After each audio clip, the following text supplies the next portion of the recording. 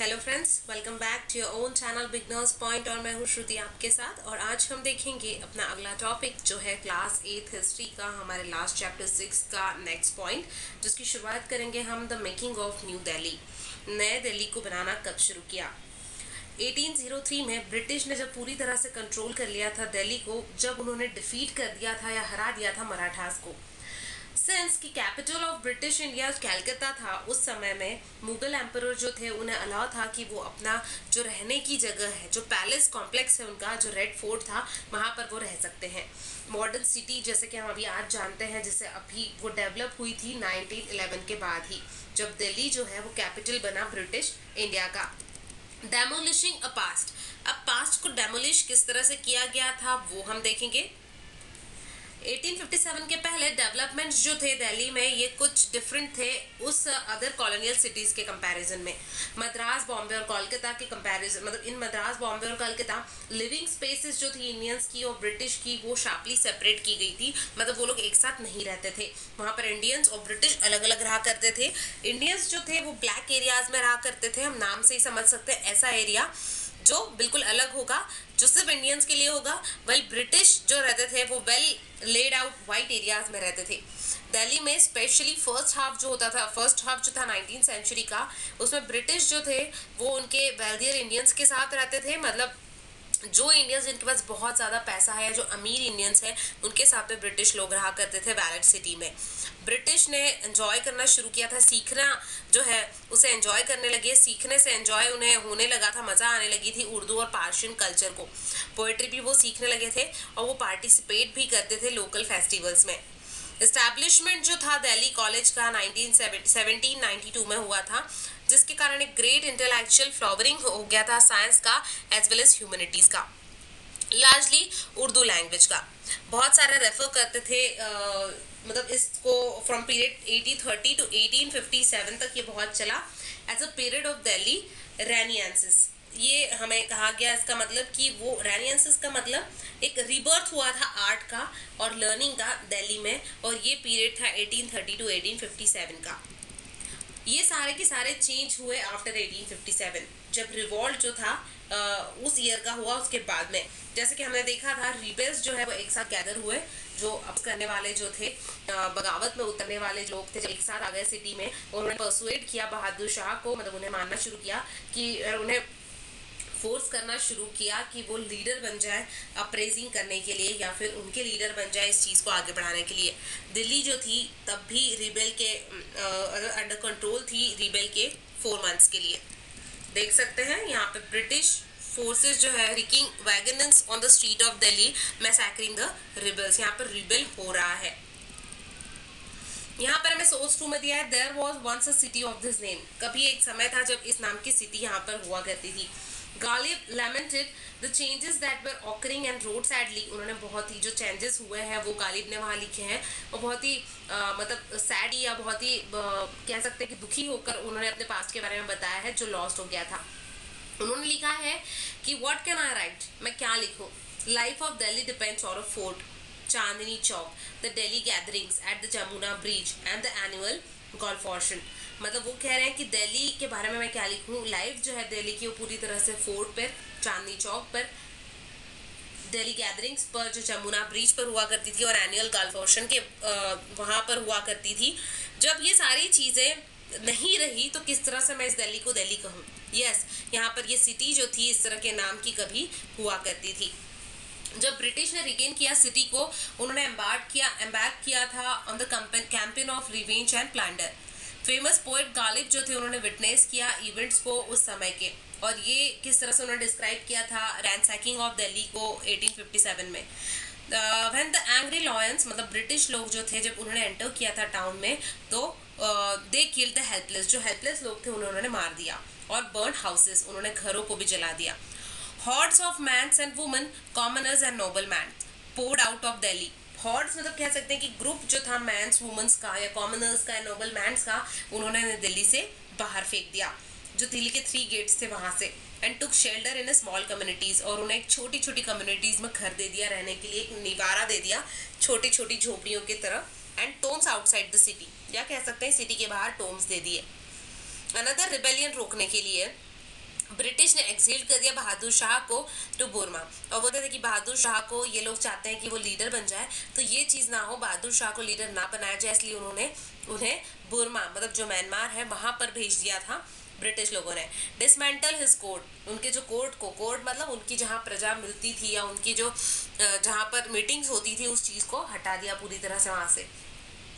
Raze several of his palaces उनके बहुत सारे पैलेसेस जो थे उन्हें ख़त्म कर दिया। क्लोज डाउन कर दिए गार्डन्स को और बैरिक्स बना दिए ट्रूप्स के लिए उनके प्लेस पे। उस जगह पे उनके जो ट्रूप्स हैं, उनके रुकने के लिए बैरिक्स बना दिए थे। ब्रिटिश चाहते थे कि दिल्ली जो है वो भूल जाए पूरी तरह से उसके मुगल पास्ट को। एरिया जो था अराउंड द फोर्ट ये कम्प्लीटली क्लियर कर दिया था। गार्डन्स जो थे आसपास के, उन सबको हटा दिया। पेवेलियंस और मॉस्किस जो थे दो टेम्पल्स जो थे, वो इंटैक्ट रखे गए थे। ब्रिटिश चाहते थे क्लियर करना ग्राउंड को, ताकि उन्हें सिक्योरिटी रीजंस मिल सके। मतलब अगर वो ग्राउंड को क्लियर कर देंगे तो वहाँ उनकी सिक्योरिटी ज़्यादा बढ़ जाएगी। मॉस्क और पर्टिकुलर जो थे, वहाँ पे आइदर वो डिस्ट्रॉय कर दिए गए, या फिर दूसरे यूज़र्स के लिए ले लिए गए। फॉर इंस्टेंस जो जीनत अल मस्जिद थी, उसे कन्वर्ट कर दिया गया था बेकरी में। कोई भी वर्शिप जो थी, वहाँ पर अलाउ नहीं थी। जामा मस्जिद जो थी, वहाँ पर भी कोई वर्शिप नहीं कर सकते थे। फाइव ईयर्स के लिए उसे बंद कर दिया गया था। वन थर्ड जो था सिटी का वो पूरी तरह से डेमोलिश हो गया या ख़त्म हो गया था और उसका कैनल जो था वो भी पूरी तरह से भर दिया गया है फ़ील्ड अप कर दिया गया था। 1870s में वेस्टर्न वॉल्स जो थी शाहजहानाबाद की वो तोड़ दी गई ताकि वो इस्टेब्लिश कर सके कि रेलवे को और अलाउ कर सके सिटी को कि वो एक्सपांड करे अपने आप को इन वॉल्स के बाहर भी। ब्रिटिश जो थे, अब रहना शुरू कर दिया था उन्होंने स्ट्रॉन्गलिंग सिविल लाइन्स के एरियाज़ में, जहाँ पर उन्हें वो जो नॉर्थ में थी अवे फ्रॉम द इंडियंस जहाँ पर इंडियंस बिल्कुल भी नहीं थे, जो वैलिड सिटी के थे, वो इंडियन से भी दूर। दिल्ली कॉलेज जो था, वो अब स्कूल में बदल गया था और शट डाउन हो गया वो 1877 में या बंद हो गया 1877 में। Planning and new capital new capital की प्लानिंग जब की ब्रिटिश जो थे फुल्ली अवेयर थे या जानते थे सिम्बॉटिक इंपॉर्टेंस को दिल्ली के। जब रिवॉल्ट हुआ तो आफ्टर द रिवॉल्ट ऑफ़ 1857 बहुत सारे स्पेक्टेकुलर इवेंट्स जो थे, वो वहाँ पर होने लगे, दिल्ली में होने लगे। 1877 में विसरॉय लियोट ने ऑर्गेनाइज किया था एक दरबार को to acknowledge Queen Victoria as empress of India India के इम्प्रेस के नाम से उन्हें एक्नॉलेज करने के लिए वहाँ पर दरबार में उन्होंने ऑर्गेनाइज किया था एक लियाटन को। रिमेंबर कि कोलकाता जो था, वो तब भी कैपिटल था ब्रिटिश इंडिया का। बट ग्रैंड दरबार जो था, वो हेल्ड हुआ था दिल्ली में। वाई वॉज़ दिस सो मतलब ऐसा क्यों हुआ? कि इवन दो कलकत्ता जो है, वो कैपिटल था, लेकिन फिर भी जो ग्रैंड दरबार है, वो दिल्ली में भरा। तो ऐसा क्यों हुआ? तो रिवॉल्ट के वक्त पे ब्रिटिश जो थे, उन्होंने रियलाइज़ किया कि मुगल एम्पर जो थे, वो स्टिल इंपॉर्टेंट है उनके पीपल्स के लिए। और वो देख रहे हैं मुगल लोगों को अपने लीडर के रूप में। ये लोग देखना चाहते हैं। और ये उनका इम्पोर्टेंस जो था सेलिब्रेट करने का ब्रिटिश पावर को उनके पॉम्प के साथ में और शो किया गया सिटीज़ में। मुगल एम्पर के हैड अर्लियर रूल जहाँ पर मुगल एम्पर पहले रूल किया करते थे। और the place which had turned into the rebel stronghold in 1857 और फिर वो जगह जो थी, वो एक तरह से रीबेल के लिए टर्न हो गई 1857 में। 1911 में जब किंग जॉर्ज वी जो थे, उन्हें क्राउन किया गया था इंग्लैंड में दरबार जो था, दिल्ली में भरा गया था उसके लिए यह हेल्ड हुआ था, ताकि सेलिब्रेट कर सके इस ओकेजन को। डिसीज़न जो था, वो शिफ्ट किया गया था कैपिटल ऑफ़ इंडिया को फ्रॉम कैलकाटा टू दिल्ली। और उस समय डिसीज़न लिया कि अब जो है इंडिया का कैपिटल दिल्ली कैलकाता ना होकर दिल्ली होगा, और ये अनाउंस किया गया था उस ग्रैंड दरबार में। न्यू दिल्ली जो थी, वो कंस्ट्रक्ट की गई थी as ten square mile city on Raisina hills south of existing city जो अभी एग्जिस्टिंग सिटी थी उस समय में, उसके साउथ में बनने के लिए न्यू दिल्ली को बनाया गया था कंस्ट्रक्ट किया गया था टेन स्क्वायर माइल की जगह में, और दो आर्किटेक्ट्स ने एडवर्ड लियोटेंस ने और हार्बर्ट बेकर ने, जिन्हें डिज़ाइन जिन्होंने डिज़ाइन की थी न्यू दिल्ली को और उनकी बिल्डिंग्स को। Government complex in New Delhi consist of two mile avenue दो माइल एवेन्यू जो था गवर्नमेंट ने इस तरह से उसे बनाया गया था। एक ही किंग्स वे, जो राजपाट, राजपट माना जाता है राजपाट, और जिसमें विसरॉय पैलेस जो है, राष्ट्रपति भवन जिसे कहते हैं, वो बनाया गया था with the secretariat building on the other side of the avenue और एवेन्यू के दोनों साइड में एक सेक्रेटेरिएट बिल्डिंग बनाई गई थी। फीचर जो थे, इसके गवर्नमेंट बिल्डिंग के, ये बोरो किए गए थे different periods of Indian imperial history से। मतलब पहले के समय में हिस्ट्री में किस तरह के होते थे किस तरह की डिज़ाइंस हुआ करती थी, ये सारी चीज़ों को बोरो किया गया था। बट ओवरऑल लुक जो था, वो क्लासिकल ग्रीस का था मतलब फिफ्थ सेंचुरी में जो क्लासिकल ग्रीस का जो लुक था, वैसा था। कुछ समय के लिए सेंट्रल डोम जो था विसरॉय पैलेस का, वो कॉपी किया गया था from the Buddhist at Sanchi और रेड सैंडस्टोन और कार्ड स्क्रीन्स और जालीस जो थी, वो बोरो की गई थी मुगल आर्किटेक्चर से। बट न्यू बिल्डिंग्स जो थी, उन्हें एसरेट एसेट करना ब्रिटिश इंपॉर्टेंस था बहुत ही। और इसीलिए आर्किटेक्ट्स जो थे, वो इस चीज़ के लिए श्योर थे कि विसरॉय पैलेस जो है, वो हायर होगा then Shahjahan Jama Masjid. How was this to be done और ये सब कैसे हुआ? न्यू दिल्ली जो है, उसे बनाने के लिए नियरली ट्वेंटी ईयर्स लगे। आइडिया जो था बिल्ड करने का इस सिटी को, वो स्टार्क कॉन्ट्रास्ट था शाहजहानाबाद के लिए। There was to be no crowded mohallas कोई भी क्राउडेड मोहल्लास नहीं होना चाहिए, कोई भी माजेस ऑफ़ नारो बैलेंस नहीं होने चाहिए। न्यू दिल्ली में ब्रॉड होना चाहिए न्यू दिल्ली बहुत सा बड़ा बड़ा सा स्पेशियस होना चाहिए। स्ट्रीट स्ट्रीट्स होनी चाहिए जो स्प्रॉलिंग मेंशंस उसके आसपास बने हो बड़े बड़े बिल्डिंग्स बने हो मेंशंस बने हो मिडिल में लार्ज कंपाउंड होना चाहिए। आर्किटेक्ट जो थे, चाहते थे न्यू दिल्ली को रिप्रेजेंट करना एक sense of law and order के रूप में। और इसके कंट्रास्ट में चॉर्स ऑफ़ ओल्ड दिल्ली मतलब ओल्ड दिल्ली को देखेंगे तो उसके अपोजिट में देखें तो न्यू दिल्ली बिल्कुल अलग होना चाहिए। न्यू सिटी जो थी वो क्लीन और हेल्दी स्पेस वाली होनी चाहिए। ब्रिटिश ने देखा overcrowded spaces as unhygienic and unhealthy जैसे कि वो जानते थे। ओवर क्राउडेड जगह बहुत ही अनहाइजीनिक और अनहेल्दी होती है सोर्स ऑफ़ डिसीज होती है। और इसका मतलब ये था कि न्यू दिल्ली जो है उसे बेटर होना बहुत ज़रूरी था और वहाँ पर वाटर सप्लाई का सबसे ज़्यादा कह सकते हैं कि वाटर का सप्लाई सबसे ज़्यादा होना ज़रूरी था। सीवेज डिस्पोजल और ड्रेनेज फैसिलिटीज़ जो थी, वो भी बहुत अच्छी थी ओल्ड सिटी के कंपैरिजन में। It had to be green और न्यू दिल्ली ग्रीन होना चाहिए था। मतलब पेड़ पौधे यहाँ पर अच्छे लगे होने चाहिए थे। With trees and parks ensuring fresh air parks होने चाहिए थे ताकि फ्रेश एयर मिल सके। And adequate supply of oxygen और एडिक्वेट मतलब जितना चाहिए उतना सप्लाई ऑफ़ ऑक्सीजन भी होना चाहिए था। रीजन ऑफ़ न्यू दिल्ली की बात करें अगर। This is how viceroy Hardinge explain the choice of Delhi as a capital और ये विसरॉय हैडिंग्स जो थी, उन्होंने किस तरह से चॉइस ऑफ़ दिल्ली दिल्ली को क्यों चुना कैपिटल के लिए, वो बताया गया है।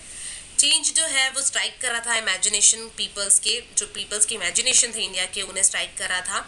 And would be accepted by all as assertion of an unfaltering determination to maintain British rule in India और ये इसलिए, ताकि ब्रिटिश रूल को हम इसी तरह से जो मेंटेन जो चल रहा था, वो ब्रिटिश रूल अपना मेंटेन करना चाहते थे इंडिया में। आर्किटेक्चर हार्बर्ट बेकर बिलीव करते थे, न्यू कैपिटल जो है वो स्कल्पचरल मॉन्यूमेंट होना चाहिए, गुड गवर्नमेंट का और यूनिटी का, जहाँ पर India, which India for the first time in the history, जो इंडिया में फ़र्स्ट टाइम होगा, इस तरह का हमें न्यू कैपिटल बनाना है, और ये एंजॉय करेगा under British rule British rule जो थे इंडिया में, ये not a mere veneer of government and culture यहाँ पर कोई आ, हम कह सकते हैं कि कोई कम गवर्नमेंट या उनका कल्चर यहाँ पर नहीं था। It is new civilization in growth यहाँ पर नया सिविलाइजेशन पूरी तरह से बना था। A blend of best elements of east and west और यहाँ पर कह सकते हैं कि एक मिक्सचर था ईस्ट और वेस्ट का जहाँ के बेस्ट एलिमेंट्स का मिक्सचर था। It is to this great fact that the architecture of Delhi should bear testimony और ये ग्रेट फैक्ट था कि आर्किटेक्चर्स जो थे दिल्ली के ये बहुत ही अच्छे थे या बियर करते थे बहुत ही अच्छी टेस्टी मनी को या बहुत अच्छे कह सकते हैं कि उन्हें अच्छा इसके लिए इनाम मिला होगा। तो फ्रेंड्स इस तरह से यहाँ तक हमने इस चैप्टर को कंप्लीट किया है। हमारा नेक्स्ट टॉपिक जो है life in the time of partition ये हम देखेंगे अपने अगले वीडियो में। तो अगर आपको मेरा ये वीडियो पसंद आया है तो प्लीज़ मेरे चैनल को सब्सक्राइब करें और वीडियो को लाइक करना ना भूलें। Thank you so much thanks a lot